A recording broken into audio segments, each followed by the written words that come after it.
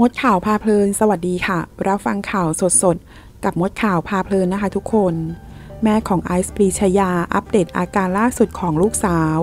เผยสาเหตุ ลบรูปคู่แฟนหนุ่มเกลี้ยงไอจีจากกรณีดาราสาวไอซ์ปรีชยาหมดสติภายในห้องพัก และถูกนำตัวส่งยังโรงพยาบาลด่วนล่าสุด เมื่อได้สอบถามไปยังคุณแม่บางอ่อนมารดาของไอซ์นะคะ ก็ได้รับการเปิดเผยว่าช่วงนี้ลูกสาวมีเรื่องเครียดสะสม จากหลายเรื่องมากทั้งเรื่องคดีไซยานายกระแสวิจารณ์ทางสังคม จนไม่เป็นอันกินอันนอน โดยก่อนที่จะหมดสติไอซ์เองได้ส่งข้อความมาหาตนเองว่าไอซ์รักแม่จึงรีบไปหาลูกสาวที่ห้องก็พบว่านอนหมดสติอยู่ที่พื้น อัตราการเต้นของหัวใจอ่อน จึงรีบนำตัวส่งยังโรงพยาบาลทันที ตอนนี้อยู่ในห้อง ICU กำลังรออัปเดตอาการจากทางแพทย์ ทั้งนี้เมื่อถามถึงเรื่องความรักที่หลายคนสังเกตจากการโพสต์อินสตาแกรมรวมถึงลบรูปของแฟนหนุ่มนั้น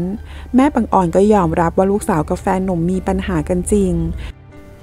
แม้ว่าที่ผ่านมาทั้งคู่ก็ support เป็นอย่างดี ฝ่ายชายดูแลลูกสาวดี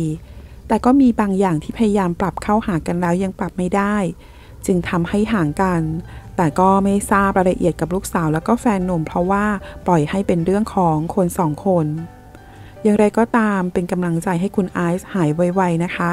ขอขอบคุณข้อมูลจากสยามนิวค่ะ ถ้าเพื่อนๆชอบคลิปนี้ ฝากกดไลค์และกดกระดิ่งติดตาม เพื่อเป็นกำลังใจให้กับช่องมดข่าวพาเพลินด้วยนะคะ ขอบคุณค่ะ